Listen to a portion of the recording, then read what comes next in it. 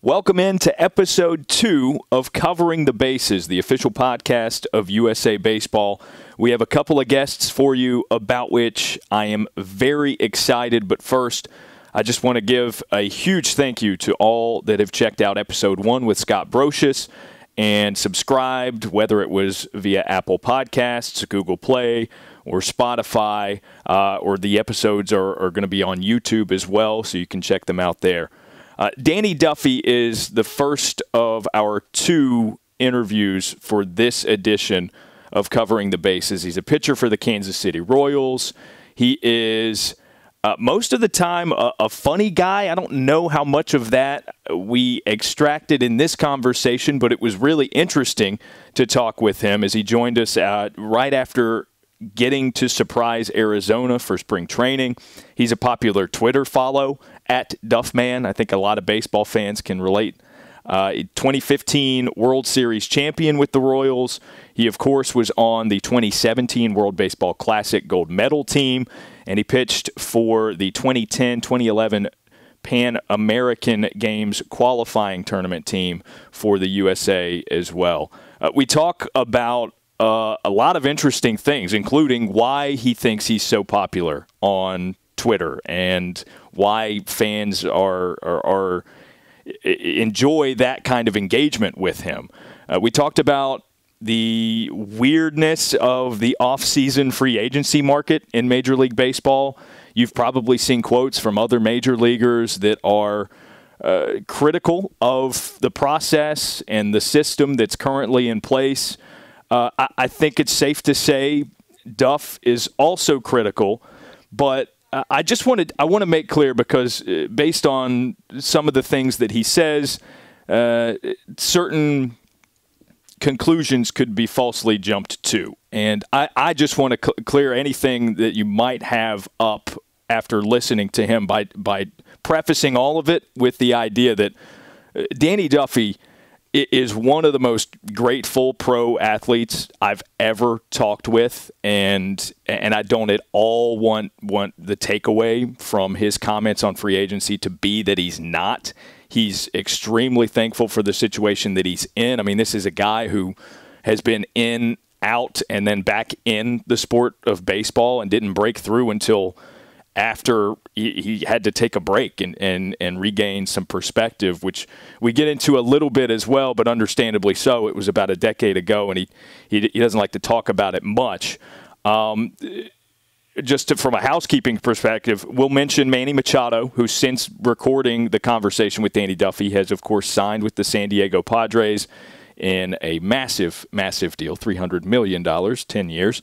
Uh, and then Mike Moustakas, his good friend that he talks about and, and is a, one of the sources of his great passion for the subject, uh, has since signed as well. Uh, one year, $10 million deal with the Milwaukee Brewers. So just clearing that up. We had this conversation before those guys had signed. Um, and who knows? Maybe by the time you guys are hearing this, Bryce Harper's got a team, and I don't know. Maybe it's all cleared up by then. Probably not, but we'll see.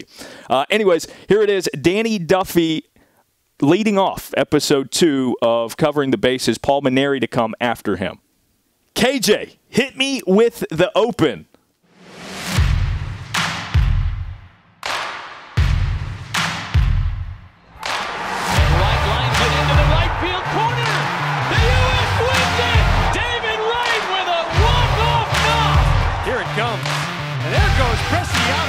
A swing and a miss, and a world championship for the United States. Arenado on the run. There it is. Team USA has won the World Baseball Classic. From high above Coleman Field at the USA Baseball National Training Complex in Cary, North Carolina, this is Covering the Bases with Daron Vaught. Danny Duffy at uh, at Duffman, otherwise as he is known on Twitter. And uh, Danny, we appreciate your time. Thanks so much for joining the podcast today. You doing okay? I know you just got just got to Arizona, right? Yeah, I'm doing great. I'm doing great. We uh, my mom came out here with me and uh, just kicking it, trying to get ready for tomorrow and go in there and handle some business and do it all over again. So I, I mentioned your Twitter handle uh, at Duffman. Those listening who aren't following, I highly recommend it. Uh, you're regarded as being very good at Twitter for whatever that's worth. I think a lot of people consider a lot of people consider you to be one of the, one of the better Twitter follows among major leaguers. And I know just from being a social media guy myself, rule number one, or it, it definitely helps to have a photogenic dog. I, I saw you recently post. It's a husky, right? Tell us about your dog.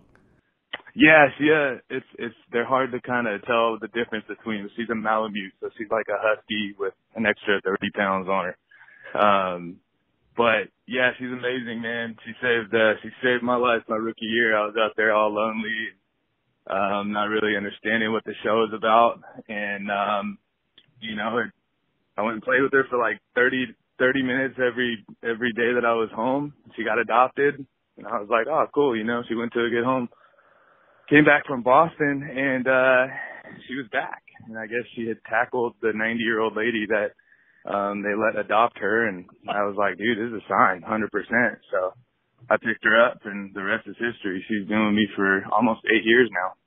What's her name? Sadie. Sadie. That's awesome. Uh Right on. So you guys go on like hikes and stuff during the off season. I saw some pretty cool pictures, and she's a beautiful dog. Oh, thanks, man. Yeah, yeah. I, I tried to. She's a she's a little bit uh she's a little bit hefty. So that that fur that fur is tough to get her to go more than about 500 feet. But um she's she's actually she's doing pretty good. She's actually down about 15 pounds right now. So maybe Arizona, I'll be able to get her going and get her back into maybe uh like Alex Gordon shape. good off season for her too. Right on. Okay. Uh, something something else that I've seen pop up on your Twitter from time to time that has really taken off is this man cave that you have. And, and it's I mean it's going to be impossible to talk to you at this length without bringing that up in some capacity. Uh, how did it get started? What does it include? I, I, just need to know more about the man cave.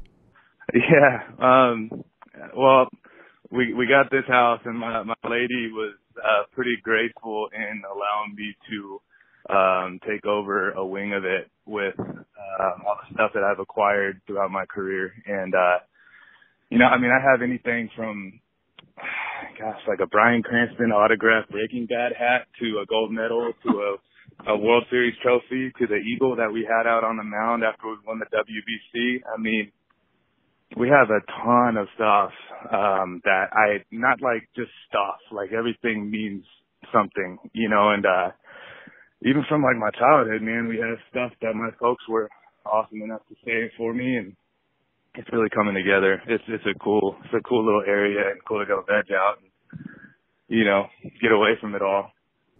So I, I had been led to believe, Duff, that this man cave included only baseball items, but the very first thing you mentioned was the Breaking Bad memorabilia. Where did that come from? Dude, I saw it on a uh, like an auction deal, and I just could not uh pass it up. I had to have it.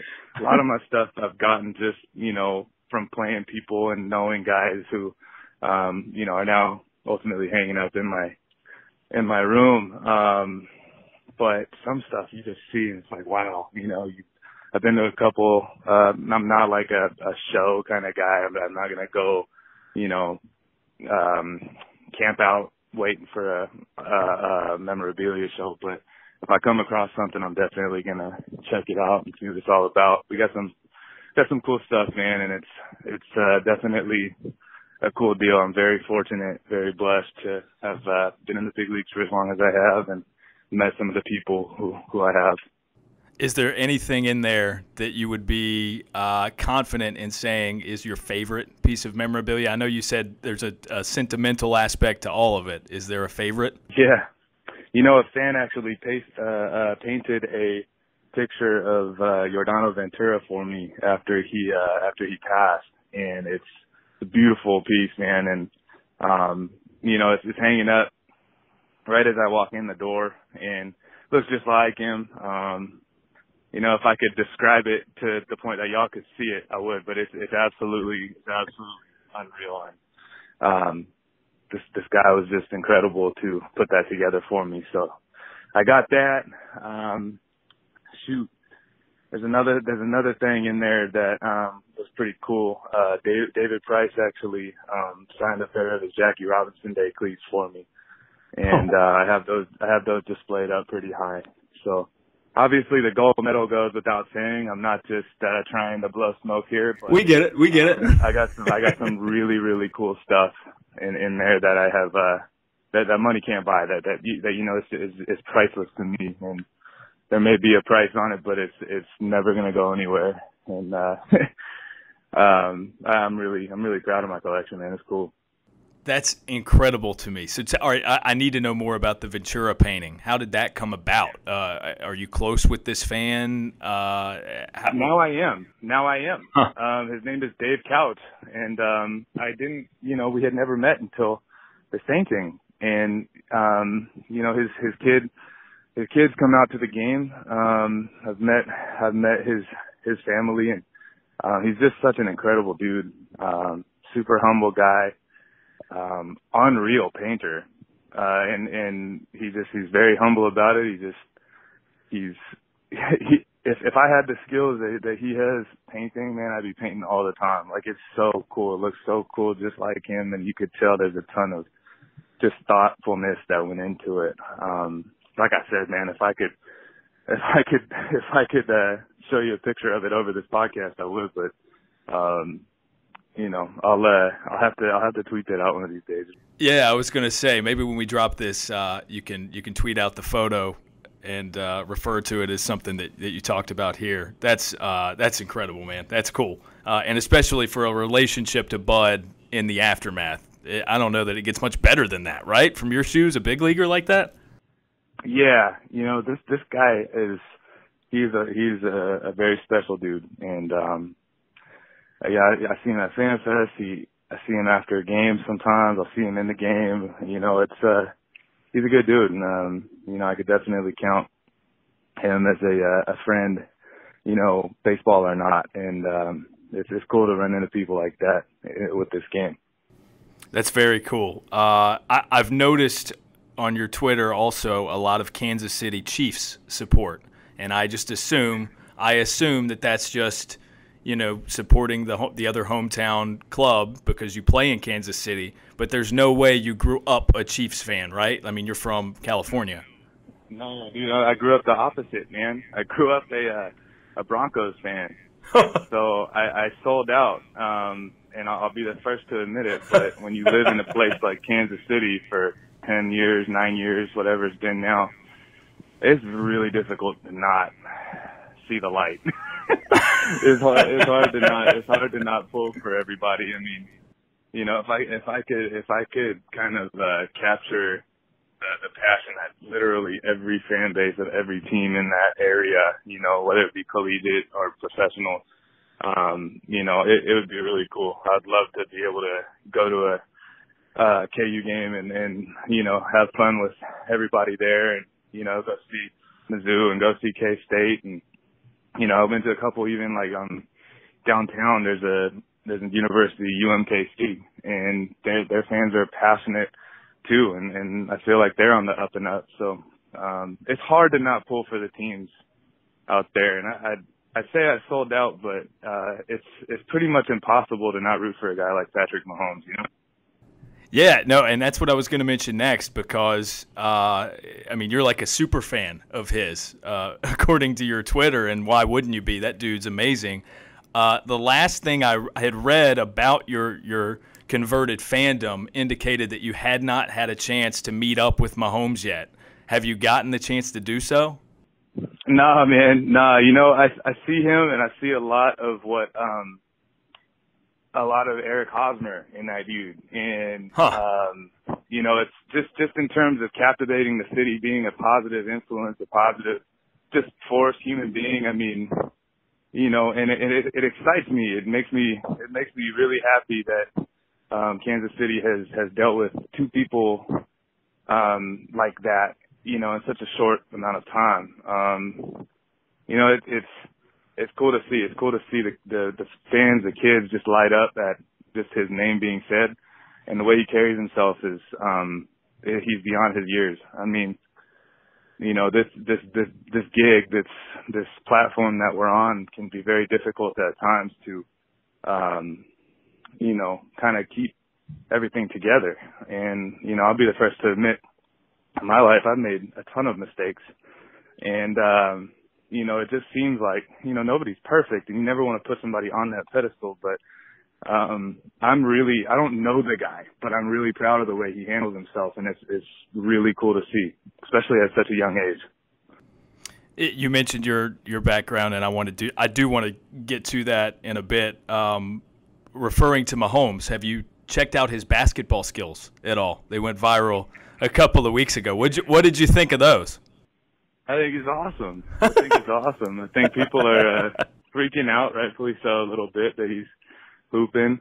But you know, it's it's the off season, and you know, it's it's hard to duplicate um, reaction time. It's hard to duplicate you know competition. You know, the ball could bounce any way. You could run suicides for however long and know where you're going to stop and know where you're going to finish. You know, so I totally endorse. You know, at least shooting up some shots. It's I don't I don't see any harm in that. And if he's he's as nasty as he is on on the court, I mean, geez, let let the guy go. Uh, well, we all know he's got baseball in his genes too. So like the guy's clearly just such an incredible athlete. What's what's your second sport that you would say you're best at besides baseball?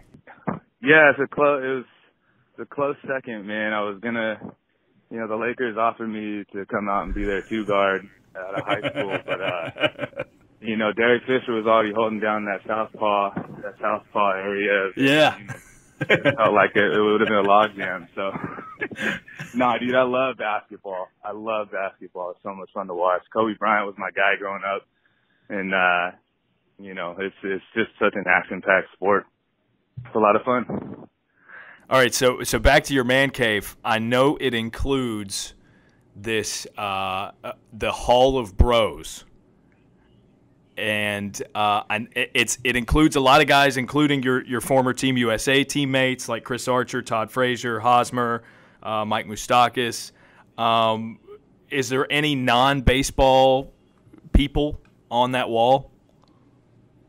Um, not in that, not in that room. Um, all right, so so we got to add a couple, I right? Royals, I got all Royals in there. Um, okay. Some dudes who I used to play with, but I got Posey in terms of the USA guys, I got Hosmer, I got Posey. Um, shoot, I got I got Givens. Um, I got uh, I got a few guys. I got Jones, Adam, Captain.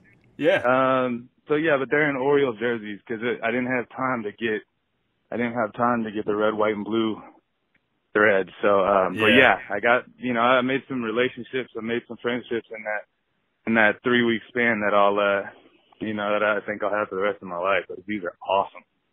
All right, so we got to add a couple. We got to get you uh, Pat Mahomes Chief jersey and uh, and a Kobe Bryant Lakers jersey. What are your best thoughts on how we make that happen? Dude, I got I got three Kobe Bryant jerseys in there. I ain't meet them. Oh, there you go. Like, All I right. got a USA, I got an eight and a two four. So I got the Froby and uh, the whole nine, dude. So I'm I'm good. Real fan. All right, I love it, man. All right, so so you, how do you feel about these these LeBron James Lakers? They're interesting, man. They're interesting. You know, it's funny after, you know, whatever it was, 14 years of his whole fan base hating on the Lakers because of Kobe and the comparisons. They all jumped, they all jumped right onto the bandwagon. So, um, they, I mean, but in, in terms of who he is, man, like, there's there's nothing there's nothing you could say about the guy that isn't positive. Um, you know, he's he's a pretty incredible human being off the court not only on the court. I mean, that goes without saying. Just to get going and get these kids uh, back in his hometown, you know, and into a, a really nice school, all the humanitarian work that he does, all the stuff he does with his kids is is cool. So on the on the on the floor, dude, I mean, I think the sky is the limit. I'm really glad we didn't get rid of Kuzma. That was that was that would have been really disappointing um, for AD, and we might still get AD anyway, man. Yeah. No, I think uh, I think at the latest that summer of 2020, you'll have your wish. You'll have Anthony Davis. LeBron will still be there. Uh, all right. So if Kansas City was to magically add an NBA team, would you abandon your fandom for the Lakers? No, I can't do that, man. My my grandma Duffy, she my my dad my dad's mother, she uh she she instilled that Laker fandom in me and uh you know, she she passed when I was eight and uh, you know, Magic was Magic, Kareem, all those dudes. So I can't I can't jump ship on the purple and gold. I like it. I respect it even. Um back to your Well for KC though. Yeah, no, for sure. There's no, nothing wrong with having two teams, especially if you're if they again magically within the next five to ten years, Kansas City gets an NBA team. I don't think that's on the docket at all, but uh, it would be interesting given your dilemma. Uh, so, so, what do you uh, besides? All right, dog check, cool man cave check, professional athlete check uh, support of other local teams, check. What else would you say explains your popularity as a Twitter follow? Any idea? You might have to get psychological here.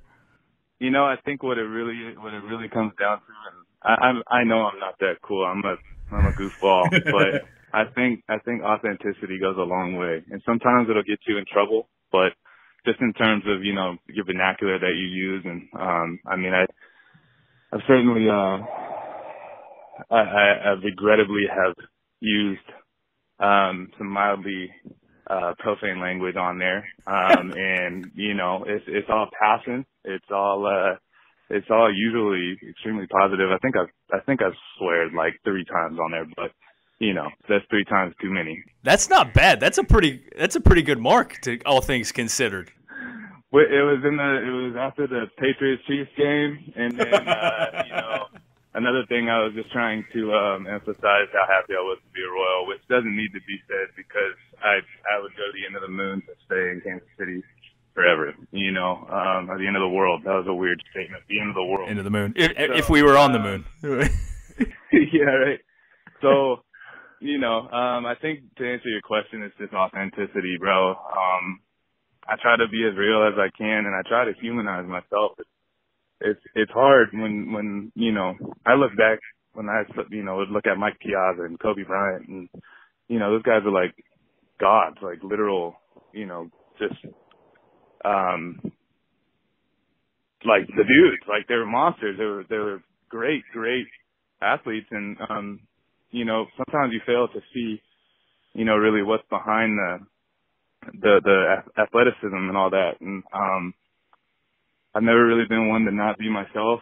Um, and I think that that goes a long way. You know, when you when you have passion for something, you you want to share it with the world. When you you make a mistake, you want to own up to it with the world. When you you know, I mean, we we grow we grow together in this life, whether you're on a public public platform or not. You know, and um, if you're not if you're not if you're not learning from everything, then um, you know you're losing. Really, I, think that's fair to say. And um, you know, I, I just I try to be real. Uh, one last thing on your Twitter, and then we'll move on to maybe maybe baseball at some point. Uh, you, have got uh, at least as of a day or so ago, you had a, a quote that you tweeted, and it was pinned to the top of your profile. It's every man should lose a battle in his youth so he does not lose a war when he is old. Uh, what's an example of a battle Danny Duffy lost in his youth? Oh man, um, how much time you got? I think, uh, you know, I think uh, we all have mistakes that we've made. Um, obviously, I've I've beat a pretty I've beat a dead horse with what happened. What what I I always say what happened to me, but it's what I did in 2017.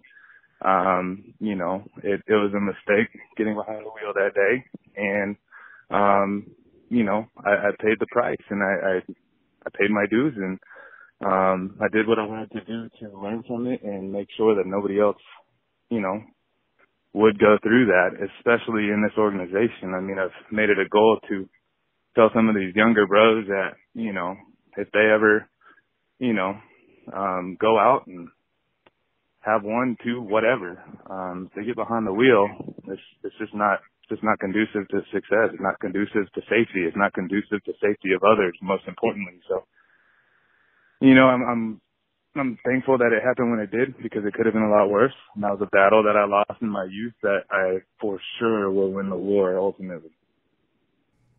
I'm going to speculate at another one, uh, Danny, and uh, again, not being you, I don't know if this was a particular battle that you can associate in, in the same type of statement.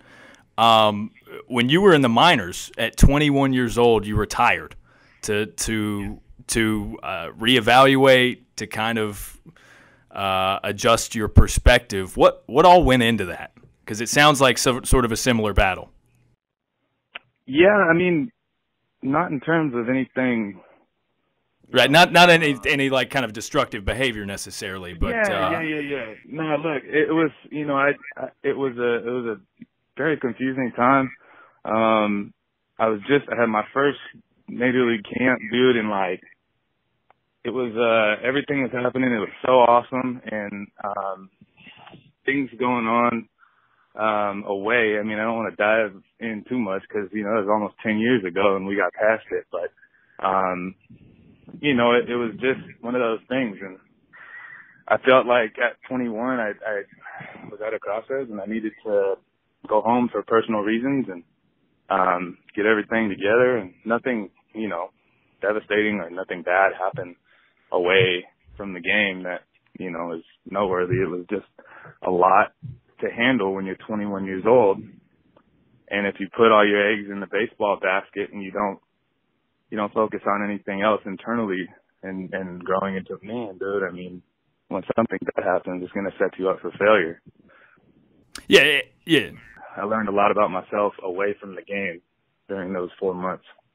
And I think that's important, and that's the only reason I ask is because I, I admire it and I respect it, and I think that a, a lot of guys in that same situation would try to, to, you know, trudge on and make it through because, you know, they're led to believe that they can't complain about, you know, being a, a, a third round pick and and being on the fast track to the majors at 21 years old. So, uh, no, I, I respect it, and I, I think – with that being said, it, you know, you've got as good a perspective. You mentioned the authenticity earlier. I think you've got as good a perspective on any of that stuff as uh, anybody in your position I've talked to. So again, uh, a, a, lot of respect for you.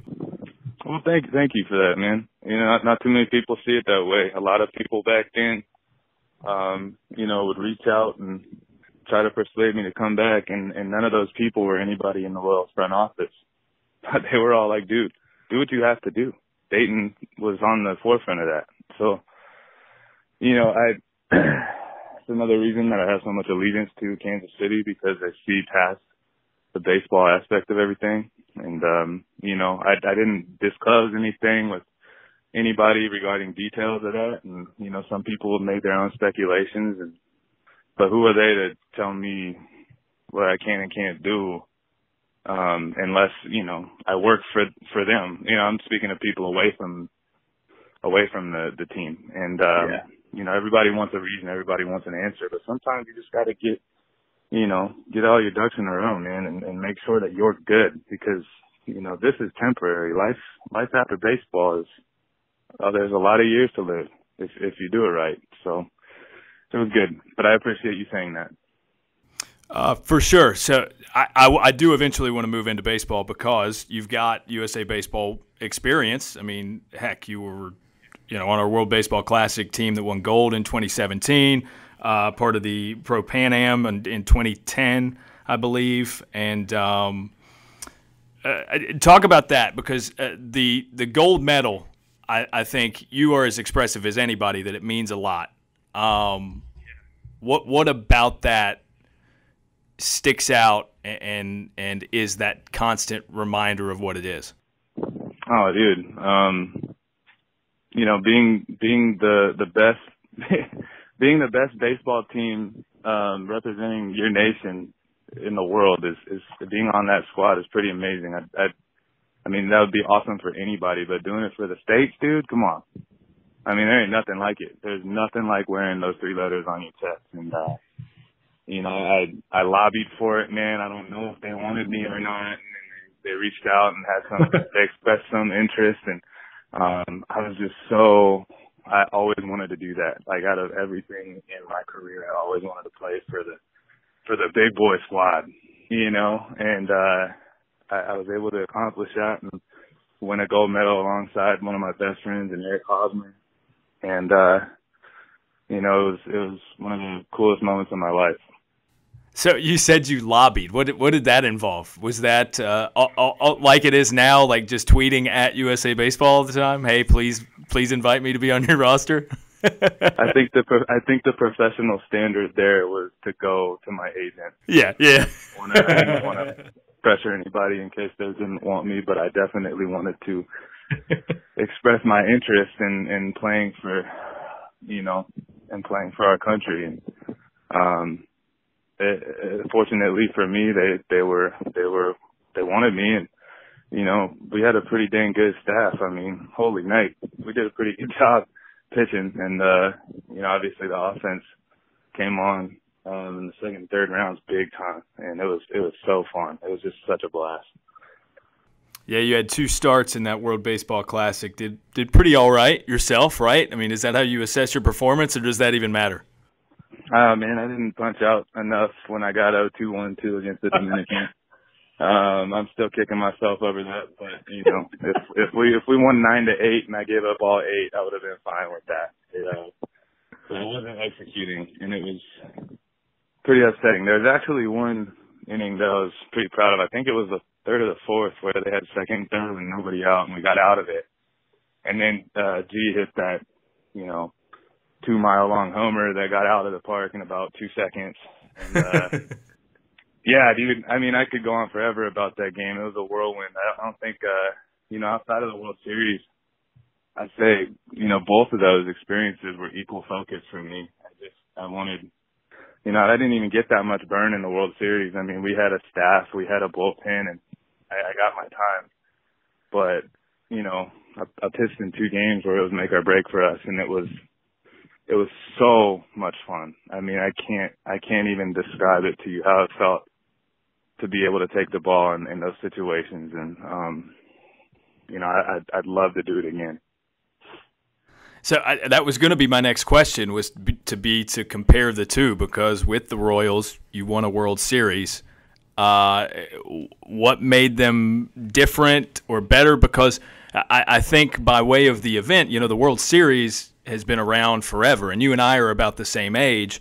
And uh, I, I, obviously didn't make it nearly as far, but as a young baseball player, that's what you dream of is like the World Series. But I do remember the World Baseball Classic coming up and it being a very cool thing, especially considering the lack of, of prominence around baseball in a in an Olympic setting in an international setting. Um, so you say they're about even in your eyes? Man, it's it's hard for me to go on a record and say that because I know what that meant to Kansas City, and I'm gonna give you the politically correct answer. No, that's fine. Sometimes you got to do what you got to do, Danny.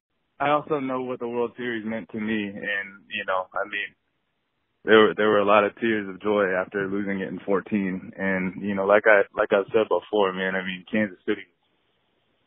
There's just not a city on the map like it, dude. And uh, coming from coming from you know where I'm from, it's very random for someone to to feel that way about you know what a quote unquote flyover state would be. But dude, there's there's the furthest thing from. So I would never ever I would never I would never put one over the other. Um, obviously, um, you know, the pain of the 14 season was, uh, we were not going to take that again. And the joy that came from winning it in 15 was absolutely, you know, I mean, I can't compare it to anything. But the World Baseball Classic is a different animal, man. You're playing for your country. So I would say two different animals that, uh, I, I loved very much. for sure. It was, a, it was a blast, dude. Two Sadies in their own ways. The different brand of baseball. I mean, yeah. it really was. Uh, Danny, I've been told within the building here at USA Baseball that you order a lot from USABaseballShop.com. yeah. Can I get you to go on record to tell me what is your favorite piece of USA Baseball gear that you own? Shoot, I think the white gloves are awesome. The white batting gloves. Um, my uh, my dad plays slow pitch, softball, and uh, he he gets after it out there. So um, I've, I've given him quite a few pairs of those that he's burned through. Um, Man, that's a shorter expiration on those too, with the solid white. Well, yeah, it's, it's um, I, think I've picked up like, gosh, I think I've picked up like ten pairs of them. Um, I use I use them for when I weightlift too. I always it's cool to look down on your wrist and see that logo down there. So um, yeah, dude, that and then uh, they got a pretty cool hoodie selection. I mean, for anybody listening, I would definitely go check out their shop. It's it's pretty cool. I want to I want to talk about one last thing because it's pertinent. Um, while we have you, I don't know how much of this you've seen or if you've got tunnel vision now that you're in, you know, Surprise and and just kind of getting ready for for your start of your season. Uh, it, rules changes that have been proposed that would be, you know, it would involve lowering the mound, backing it up. Uh, I just, what are your thoughts on that as a guy who's, um, you know, right around 30 years old and has a pretty important season coming up for you personally? Yeah, dude. Um, I, I, I spoke, I spoke out about some, some changes back, you know, my, I don't know, I was like 27, 28. And, um, you know, just in terms of, uh, developing the game into a more exciting product, I mean, it's been a beautiful game for a long time. And I feel like, you know, pitchers are getting better. They're throwing harder, et cetera, et cetera. The stuff is getting better, sharper. Um, but gosh, man, I mean, for people who don't age as well as, you know, the 0.001%, um, you know, like, shoot, I mean, Verlander's still throwing C notes up there, dude. And, um, that's just something that is just unbelievable. Like, it's hard to do. I mean, I'm, I've worked pretty hard to get my stuff back, but if the zone shrinks, if the mound lowers, if we push it back, I mean, might as well just soft toss it up there. You know, I mean, the, I don't know, man. I don't, I don't know. I think this is slippery slope and I think that there's more important things to worry about, like, you know, maybe signing some of the hundred free agents that are unsigned, you know, finding a way to compensate players earlier in arbitration, um, if they don't, if they, if they, if, if the free agency isn't gonna, um, you know, play out like it, like it should, like it used to. I mean, you, you get, you used to get compensated when you reach free agency. Now it's just younger, you know, cheaper and, you know, if, I'm not speaking in terms of ours. I'm, you know, our, our um, we obviously we've got a young core that's pretty dang talented. Um, and last year they did a lot better than I did. So, um, for accountability's sake, I, I have to mention that. But, you know, I've got some guys who I played with that aren't getting paid what they're worth. Yeah, and I, I don't I don't want to walk you into to a muck pit with that, but you seem pretty passionate about it. What's your what's your best guess as to a a, a reason why we've got you know spring training starting and and a hundred legit baseball players in free agency? Yeah, dude, it's tough, man. Um, my, I just can't wrap my mind around how Mike Moustakas doesn't have a multi-year deal. That you know, I mean, that guy's guy's a staple, man, and. uh you know, he works his butt off. He's a great teammate. He's accountable. He shows up every day ready to play. You know, I mean, Bryce Harper, and Manny Machado go without saying. I don't know. I'm not obviously behind closed doors with, um, you know, their meetings or whatever, so I don't know what the dang numbers are. But I do know that back when I first got to the big leagues, when you became a free agent, that's when you would get compensated. Arbitration, you know, is nice and, you know, but it's, as much as much money as players make, the you know, the league, the owners make, I'm pretty sure quite a bit more. So, um, you know, and and if that's the case, it's you know you can't you can't buy a Civic and expect it you know to run like a Lambo. So if if you know if if if you have a down year, um, it's going to be tough. It's just going to be tough if if uh you know or if you if you're in a if you're on a squad with, um, you know, that has a lot of potential to contend, if if you're worried about signing that extra free agent, I mean, it's going to be tough, you know. So, I'm I'm not trying to be careful what I'm saying because I'm not directing this towards anybody in particular. It's just the current climate, you know. Yeah. And um it's it's it's tough to kind of put delicately but it's again, like please let this be noted. This is not directed at anybody. I know that you know, my last year, um I should worry about, you know, doing my thing on the field and whatever, but I want to see you know, my my friends, my brothers, I want to see them get paid for what they what the, what they what they what they've earned. You know. Yeah. Well, and I think it's warranted too. Yeah. Yeah. And and I I think it's it's warranted because you're obviously not the only person concerned about that sort of thing. That's that's that has a living within the game. So I, I totally understand. Um, last thing for you, and we'll let you get out of here. Uh, it's a pretty important season coming up for you. Um, how do you see it? As you know, you're 30 years old now. I know I've I've read that your stuff is is back to a velocity that you would like it to be. What uh, what's important most important for Danny Duffy moving into 2019? This consistency, man. It's the same thing every year. It's the same thing I say every year. So um, being able to stay healthy and you know I. I know I sound like a broken record when I say that, um, because that whole win healthy thing is just, you know, when he's healthy, he's good. But, you know, that's the, that's the whole key. So I just want to stay healthy. I just, you know, cause when I'm healthy, my stuff is good.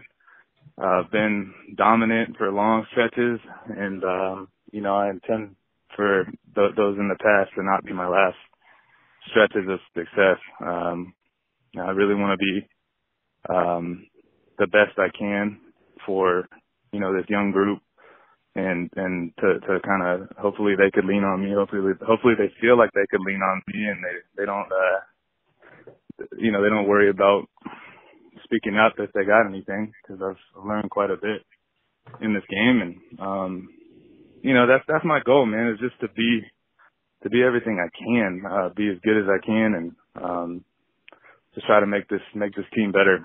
I mean I don't I don't like to set numerical goals. Uh when the last time I did that, I said I wanted 200 innings and I got through May. so, you know, I'm just trying to stay consistent, and, and it sounds boring, but it is what it is. No, it's what you have to do at that level for sure, man. Uh, well, we're well, you know, we're rooting for you uh, here at USA Baseball. We're really proud to have you as an alum. We're glad you feel the same way and uh, share those feelings on Twitter from time to time. We encourage you to continue to do that. I can't thank you enough for your time, man. I know you just got to Arizona. Things are moving uh, 100 miles a minute for you. So uh, we really do appreciate you joining us here on the podcast. Oh, dude, thanks for having me, man. Seriously, it, it was fun. We'll talk. We'll talk soon for sure. Absolutely. Be well, man. All right. Guys, I know you all love your cap collections from USABaseballShop.com. I want to tell you about the brand new 2019 batting practice 5950 cap. It's the official on field BP cap of Team USA. It features Hextech performance fabrication with an embroidered USA Baseball star logo at the front panels, the New Era flag at the left wear side, and American flag at the rear. It's a nice, breathable material, extremely comfortable hat, and uh, it looks pretty fly, I might say. So you can get grab that and all the gear that the national teams wear at usabaseballshop.com. All right, so next up is LSU baseball coach Paul Mainieri. He's been at the helm for the Tigers since 2007. He was at Notre Dame many years before that. Mainieri is truly one of the legends of college baseball coaching that is still currently in the game. A six time College World Series participant, of course, with LSU, won it all in 2009. He has had an NCAA tournament team in 19 of his 24 seasons as a head coach between Notre Dame and Louisiana State. He coached the collegiate national team last summer, an experience that for him he considers to be I, I, I think you'll you'll get the gist of it after this after hearing this conversation. He considers that one of the top things in his professional career. Uh, a really interesting guy, obviously a great coach. Tommy Lasorda is a mentor of his. Uh, he's got a lot of experience to tap into. So here's Paul Mainieri, LSU baseball coach and the collegiate national team coach from last summer. Paul Mainieri, thanks for coming on the podcast with us. How are you today? I'm great. I'm happy to be with you and looking forward to talking to you. Well, it's good to catch up. Uh, I know I did some of the play by play for your experience with us at USA Baseball over the summer. Uh, when you were both in Cary, I did not get to go to Cuba with you guys. I'm a, a little jealous of that, obviously. Um, but a successful summer, I would say, from my vantage point as someone who's who, who was talking about the play on the field. And um, I, I want to get your thoughts on coaching the the USA Baseball Collegiate National Team last summer. Um, what does that do for you as as a collegiate coach? Does it change things at all? Because uh, you, as you know, USA Baseball, we're based here in the Durham area. Where in another sport, college basketball, there's a guy named Mike Krzyzewski who, through his experience with USA Basketball, credits that as part of the reason that he has been so adaptive with recruiting and, style of play and sort of just been able to adapt with the times and, have continued success as a coach. Is there any anything sort of applicable in those ways as you see it as a baseball coach? I'll say this for, look, before I answer your question, Daron. Let me just say this: that just being a part of USA Baseball for the summer and th- putting that uniform on was virtually the greatest thrill of my professional life. And so I went into it with a terrific attitude and felt very honored and blessed and, and privileged to have this opportunity. So I wanted to surround myself with people that shared that same attitude about it. One thing that I, I may have done a little bit different than some previous coaches that maybe could be applicable to the question that you just asked was when when our committee would have our phone conversations, our conference calls, and decide on players that we wanted to uh, offer a position on the team or an invite to try out for the team.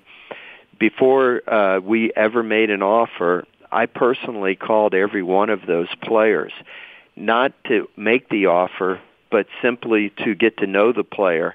And I wanted to make sure that he was doing it for the correct reasons.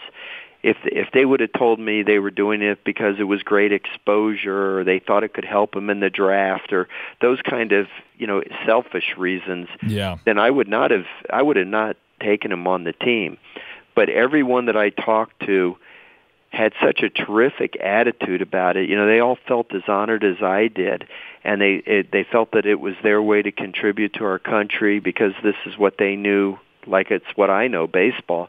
And that's why we had such a tremendous group of guys on the team. The players were just phenomenal. They totally bought in and uh, they were very unselfish. They put their their egos and their own self-interest on the shelf and were just very team oriented. So in answering that question, I think that that um, it shows that if you recruit players, whether it's to USA Baseball or to LSU, and you recruit them and listen to what they have to say and make good judgments about who you want to surround yourself with that it can end up being magical and the, because the players' attitudes will be so positive.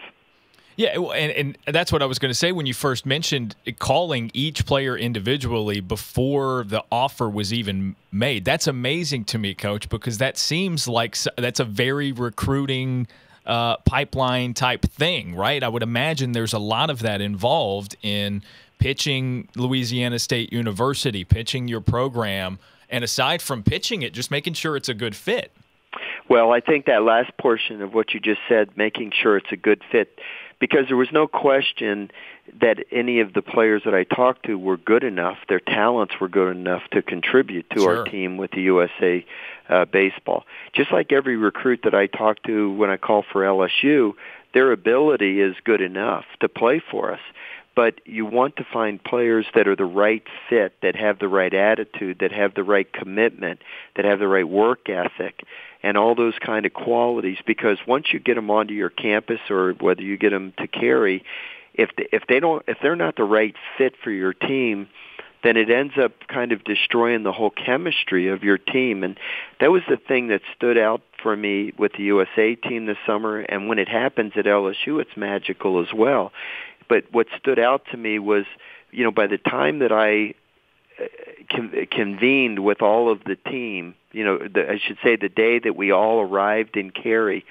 none of those players were strangers to me because I had had multiple conversations with them on the phone. We had text messaged. And uh, even though we had never maybe met in person with most of the players, I felt like I knew them before we even got started. And they knew what the expectations were going to be, you know, from an attitude standpoint, from a commitment, a work ethic, you know, an unselfishness and so forth. So they became a very easy group of kids to coach, really. So uh, that sort of puts a, a perspective on the calls that the players got. Uh, you said it was maybe the greatest honor of your career to represent USA and coach the collegiate national team yourself. Walk me through what it was like when you first got the call about coaching the collegiate national team. Well, I, I was an assistant coach back in 2015.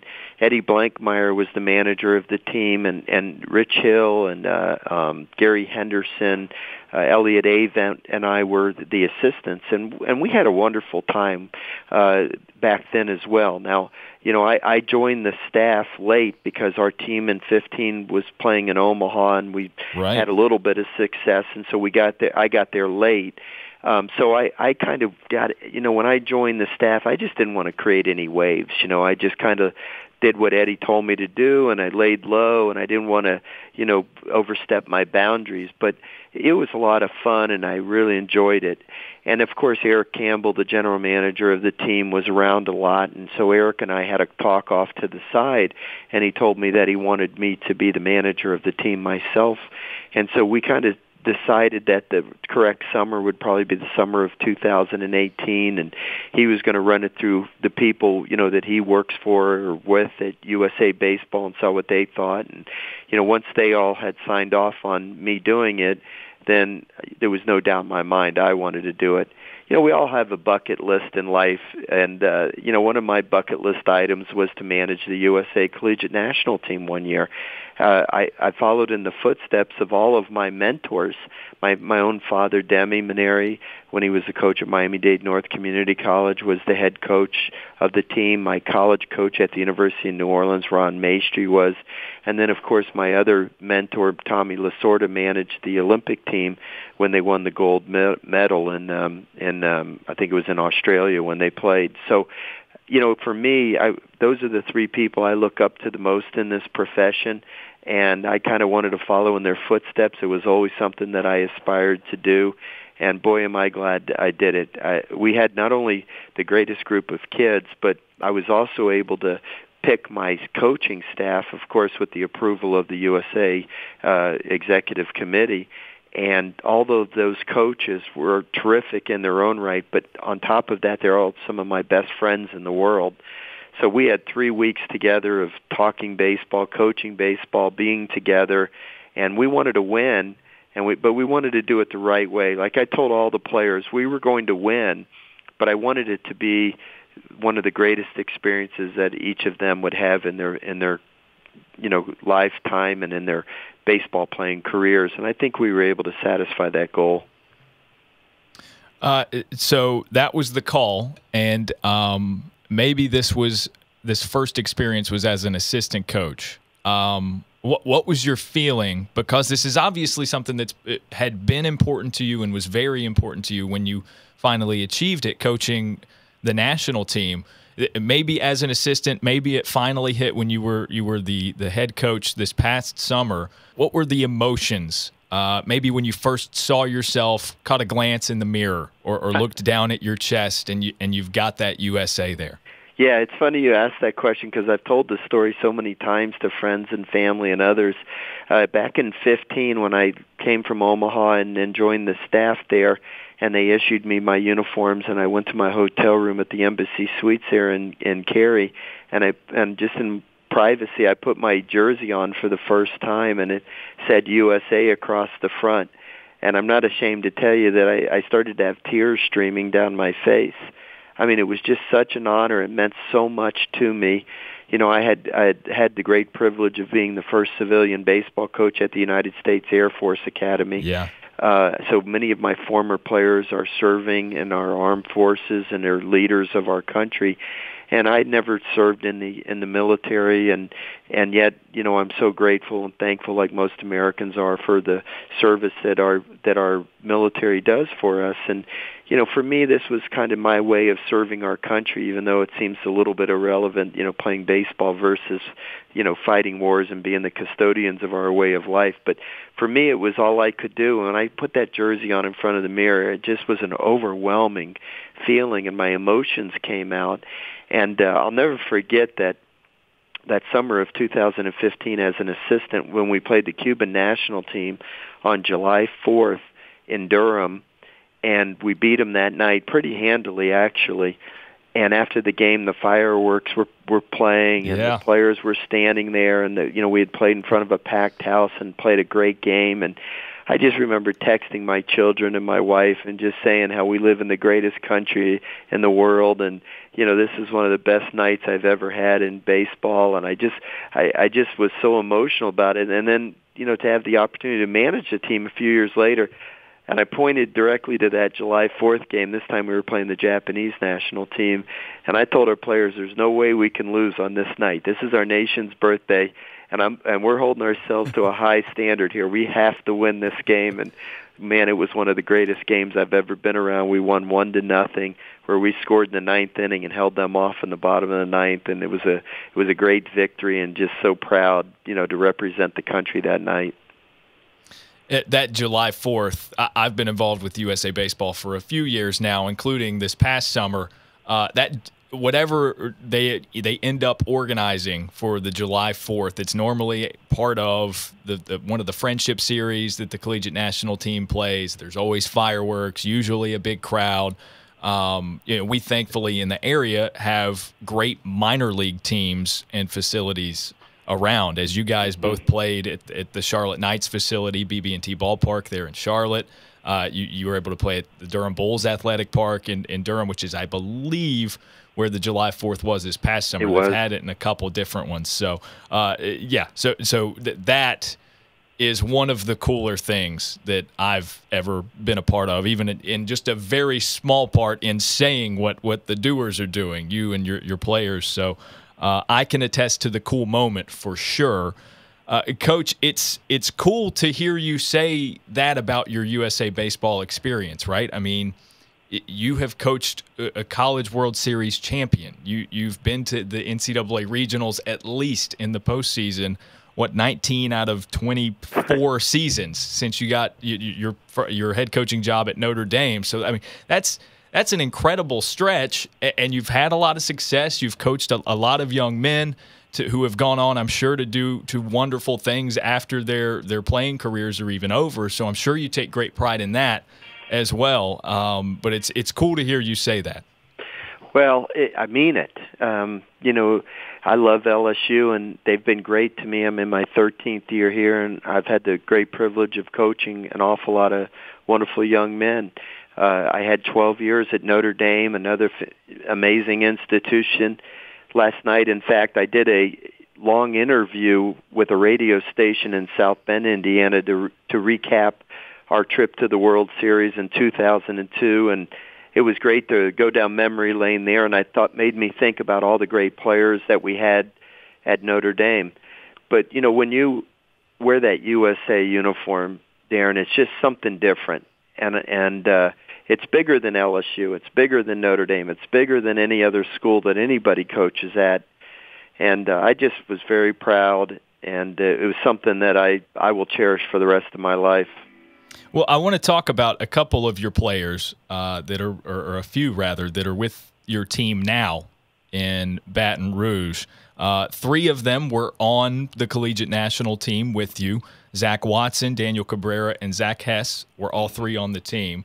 Um, I, I want to get to each of them individually, Coach, but from your perspective, what can you glean from their reaction, what they've said about it?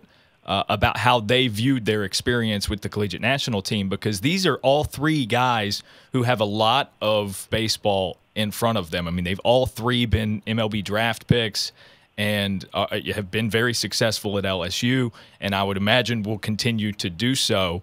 How did this sort of rank on their hierarchy of baseball experiences, you think? Well, they could answer it better than I could Sure. for them for each of them. But as the year was going on, and I knew that especially Zach Hess and Zach Watson would be eligible for the draft.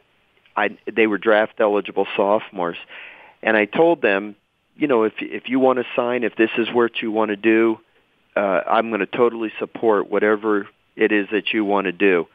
But if you decide that it's not the right opportunity, the alternative is that you can play for the USA team this summer. And I said, if you do do that, I promise you it'll be an experience that you'll cherish forever. Mm-hmm.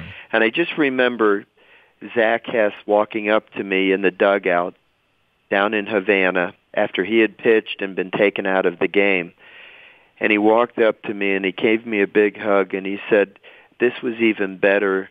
This was this experience was even better than you had described it would be for me. I'm so glad that I did this. So if that was any indication, I think that you know those boys all cherished their experience as well as I did. They're all three draft picks. All three have a, a a bright future in the game of baseball. Speaking of Cabrera, he was a late addition, and it was the funniest thing calling the games in which he came uh, got into Cary, I believe, the same day or maybe late the day before his first appearance in a game in that international friendship series against the Chinese Taipei. And Right. if I'm not mistaken, he had the only home run for the U.S. in the series. That's right. Yeah, yeah. I thought I remembered that correctly. What was that 24 hours or so like for him? Well, he, not only did he hit the home run, he had an RBI single, and we won the game three to one. Yeah.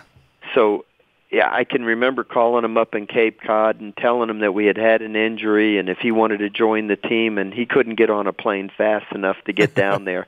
He was so excited, and he had told me throughout the year that it was his goal to play for the USA team, and only because of this injury that it then it did happen for him, and he was upset that somebody had to get hurt for him to be on the team, but he certainly took advantage of it, and he deserved to be there. I have to ask about Zach Hess because I remember looking at his biography over the summer and seeing that he was he's from Forest, Virginia, and he played at Liberty Christian Academy. Well, coach, I'm from southwestern Virginia and I worked in Roanoke, Virginia for a long time before coming to the Raleigh area where I'm now based and and get to do these wonderful things with USA Baseball. So I covered Liberty Christian Academy high school athletics for a stretch, and I'm just wondering how on earth does a, a, a guy from Forest, Virginia, find his way to LSU? Did, it, were his were his high school playing days eye popping enough to grab your attention from Baton Rouge just like that? Well, obviously they were. Yeah, he um Zach was a big, strong, you know, right-handed pitcher, and and we thought he had a very high ceiling, but we also knew that he would be a risk to lose to lose to the pro draft coming out of high school. Sure. And uh, you know, fortunately for us, the the LSU brand is kind of far-reaching, and I think Zach had a you know pretty decent knowledge about what we are here at LSU, and I think it came down to Florida and us, and he decided on LSU, and aren't we happy that he did? Yeah, no doubt about it. And then rounding out those three uh, would be Zach Watson, who is a, a somewhat local guy, right? Ruston, Louisiana. Um, enlighten us a little bit on his story. He was, I thought, as as solid as anyone on that collegiate national team this summer. Well, we, you know, I, when these players join the USA team, it's their first time of using wood bats. You know, in the summer, because during the spring they're using the aluminum, and then they have to make the adjustment to the wood. So Yeah, there's not usually a lot of power in the summer, and so as a as our coaching staff would have our conference calls, we we made it a big point of emphasis to make sure that we had a really good defensive center fielder that could take away base hits, sinking line drives, balls in the gaps, and so forth. And as we searched the country for the best center fielder that we could find, you know, we always kept coming back to Zach Watson, and we thought that he was the premier defensive center fielder. Of course, he was eligible for the draft, so we didn't know if he'd even be a possibility. But ultimately, you know, the draft didn't go the way that he had hoped it would, and so he joined our team. And I thought he did a terrific job defensively. And then I thought Cliff Godwin, our hitting coach, did a really nice job with Zach and made him a very productive offensive player for us. And uh, I think Zach more than held his own and did a good job. I'll leave you with this. Why don't you give us the scouting report? You guys were uh, an NCAA regional team last year, although it was a bit of a dip considering you were the runner up two seasons ago. Uh, what's it looking like for your, your Bayou Bengals down there? well, a couple of uh, baseball covering periodicals or whatever you would call them, websites, have already uh, anointed us as preseason number one in the country. The third one is as number two so a lot of uh, high expectations here in Baton Rouge, as there generally are. You know, we've uh, we've had 18 trips to Omaha in the last three decades, and we've won six national championships. So not me personally during the time I've been here, but yeah, the expectations are always high here in Baton Rouge, and and this year is no exception. Last year was not so much a normal season for us. We had a lot of very difficult injuries to have to overcome, but you know, I think we've got a good experienced team, and we had the number one ranked recruiting class. So I think we're ready to make a run at it this year. Best of luck with this season. We will obviously keep in touch as you are now and, and have been since you joined the staff some years ago as an assistant. You're part of the USA Baseball family, so we can't thank you enough for your time. Uh, good luck this season, and we'll catch up with you down the road, okay? Okay, Daron. Sounds great. Okay, so at the end of every episode, and if you tuned in for episode one with Scott Brosius, you're well aware of this segment by now. I'm going to bring in Brad, the media guy, to fact check us just in case, right? I mean, he's full time here at USA Baseball, a little more uh, aware of the programs. Sometimes I slip up on specifics as far as those are concerned. And just, Brad, you have an appreciation for the little things, detail and accuracy. You're not and that's wrong. What, that's what we strive for here, Absolutely. right? So what did we do wrong? Uh, not too much. Uh, good. Danny, Always good to know. it is. I was very proud of you this time. uh, Danny Duffy, which was a phenomenal interview. Um, he talked about the game he pitched against the Dominican Republic in the World Baseball Classic that secured our spot in the, uh, the semifinals. And he said he was particularly proud of one moment in the game where he said it was in the third or fourth inning. There was he got out of a tough spot, second yeah. or third with no outs. It was actually the second inning of the game, not the third or fourth, um, which I thought was actually a little bit more important because at the time Dominican Republic had jumped out to a two to nothing lead in the first inning and then got two runners on in scoring position with no outs in the second. And had he not gotten out of that jam, the whole rest of the game could have looked completely different.